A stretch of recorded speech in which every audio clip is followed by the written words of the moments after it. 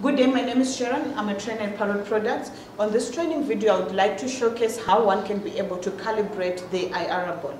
So this is your IARA board, of which when it comes to your IARA board, for it to be able to work, you are having a board, you're having a projector, and you're having a computer.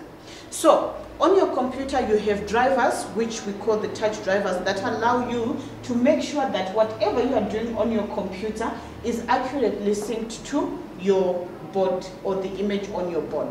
For you to calibrate, you come to your hidden icons here, and you click on your driver's icon. So the driver's icon should always be saying connected. When it says connected, it means that your board and your computer are communicating. Or you can now be able to manipulate your computer on the board. As you can see, here I can be able to manipulate my computer on the board, but where I am pointing and where the, the mouse is are on different positions. So for you to be able to make sure that as you point, your mouse is exactly on the image that you're pointing, you do what we call calibration. So let's do this process together. Come to your hidden icons and select your driver icon. Click on the driver icon and select calibrate. So on your calibration window, you will see that you are given 4 points, 9 points by default, 21 points.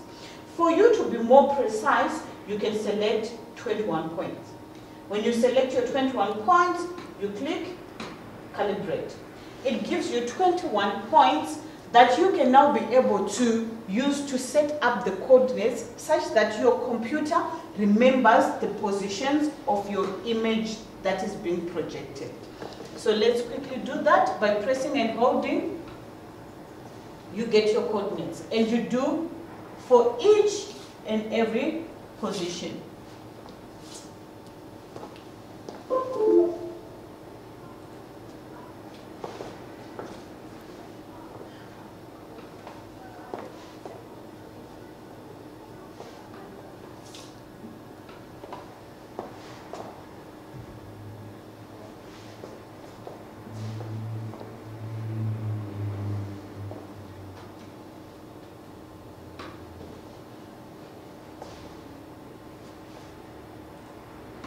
Right. After setting up your calibration points, you also set up the hotkeys of Teach Infinity.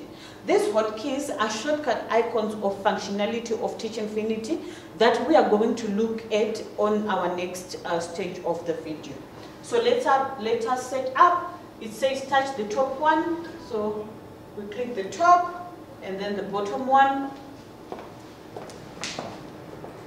Again, the top part and the bottom part, and your calibration will be completed. After calibrating, you can now be able to interact with applications that are on your computer.